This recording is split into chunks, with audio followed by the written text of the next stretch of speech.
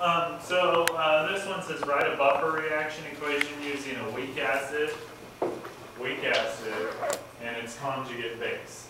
Okay, so you're gonna need to know your weak acids, but those are what you're gonna memorize tonight. Okay, you're gonna memorize some weak acids. Uh, here are four weak acids that, um, you could potentially use in this equation, okay? Case, uh, since the practice exam uses acetic acid, let's do it different. Okay, let's do carbonic acid. So carbonic acid, H2CO3. Okay, if it's dissolved in water, this is aqueous.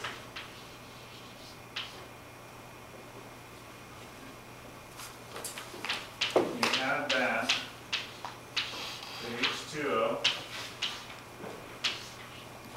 And remember, with an acid base, or with a weak acid, that, that's a buffer, it's gotta be in equilibrium. Because if it's not in equilibrium, then when you add hydroxide or protons into here, it won't go back and forth. Okay, so it has to be in equilibrium, that's why you need a weak acid. Okay, and so all you've gotta really do is figure out, okay, I got a weak acid, here's my weak acid, I'm gonna combine that with water, so now I gotta figure out, well, what's the conjugate base of this, and what's the conjugate acid of this, okay? So remember, this is your acid, this is your base here. So if we looked at this, right, the conjugate base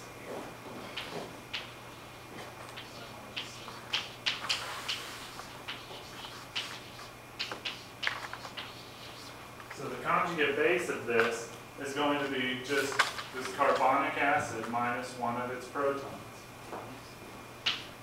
HCO3 minus aqueous. And then, of course, you're going to have to write the conjugate acid of your base, which is just the hydronium ion, H3O plus aqueous. That's your conjugate acid.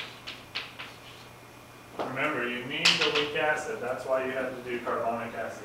This, in fact, is the buffer system that's used in our blood. Okay? Uh, the one thing I want you to be aware of is the negative charge here. Okay?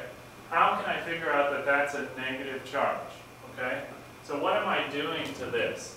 I'm removing an H plus, right? So if I take H2CO3 and subtract an H plus from that, right?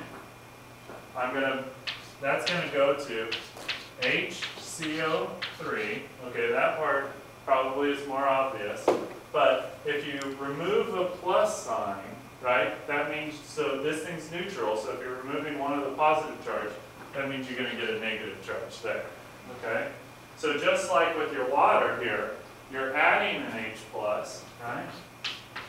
You got H2O plus H plus, so you're gonna have H3O. Okay, that part's obvious, you've got H, H2O, so it's gonna be H3O, and you're adding a plus, so you just put your plus. That's where you get those charges on the conjugate acid and the conjugate base.